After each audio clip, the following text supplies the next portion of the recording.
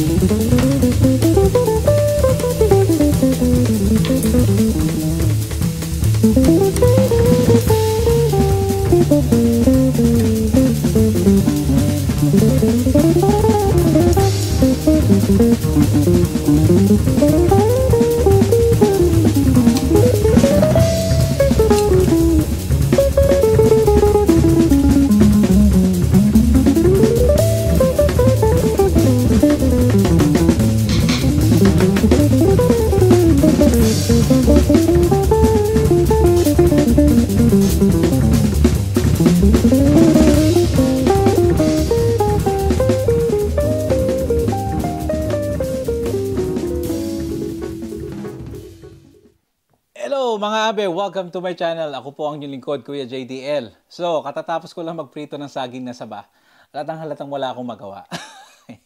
anyway, kaya ako sinut ang uh, saging na saba habang piniprito, bukod sa wala akong magawa, ay para na rin mag-practice at gamitin itong Sony ZV-1 na nabili ko noong 2020. Gina, uh, binili ko to para aking pang-vlogging uh, kit or tinatawag na pang-vlog dahil masyadong malaki yung Fujifilm kapag uh, na XT3 kapag ka magbablog. At isa pa, wala siyang uh, flip screen. Hindi ko nakikita yung angulo ko. Kagaya ngayon, nagbibideo ko, so may salamin ako sa harapan ko dahil hindi ko talaga alam kung ano yung angulo ko.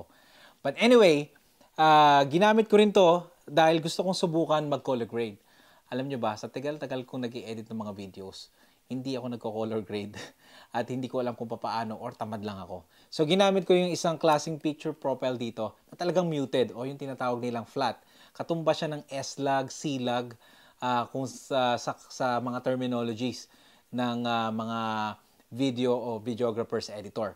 So, yun ang ginamit ko dahil uh, medyo muted siya or flat yung images para kahit na anong dagdag ng kulay uh, or kontrolado ko yung tinatawag na highlights and shadow. At kung ano-ano pang terminology. Pasensya na kayo, hindi talaga ako technical.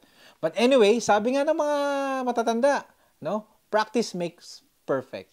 At hindi man perfecto yung ginawa kong clip, eh kahit pa paano naman, eh, na-practice ko yung uh, pag-color grade at paggamit nitong kamerang ito.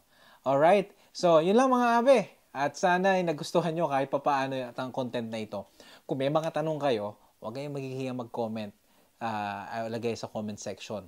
At kung hindi ka pa nag-subscribe, uh, eh ano ba hinihintay mo? Pindutin mo na yan. Baka mapanis. okay?